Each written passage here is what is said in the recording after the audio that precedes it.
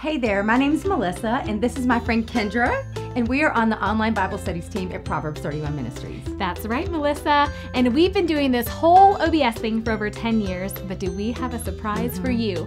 For the first time ever, we are offering two different studies that'll take place at the same time. That's right, you get to choose which one is right for you. Option number one is for the mom out there who she loves her kids so much and she really wants to get this parenting thing right, but she also feels the extreme pressure that comes along with it. Mm-hmm. We'll be doing the Bible study Mom Set Free by Jeannie Cunnion. Option number two is for the girl who may feel lost in the life she's living or who may feel stuck in her current season, not sure what to do next. We'll be reading The Dream of You by Jo Saxton. And both studies we'll have weekly videos with the author and a community you can join to share and support each other as you work through the study. So excited about this. Mm-hmm. Which one are you going to choose? Both studies start September 7th, and you can get signed up at Proverbs 31